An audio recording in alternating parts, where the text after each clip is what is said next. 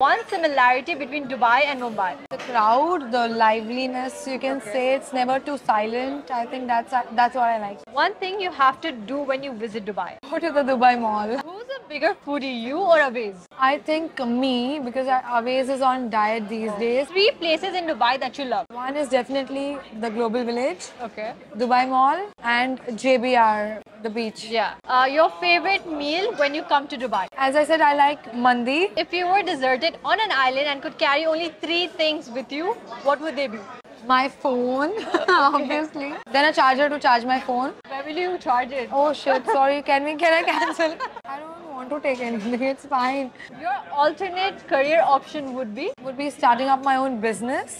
home food or eating out. I usually love to eat out, but because I've been traveling a lot this year, I am homesick and I want to eat ghar ka khana. Biryani or idli sambar, Idli sambar. which is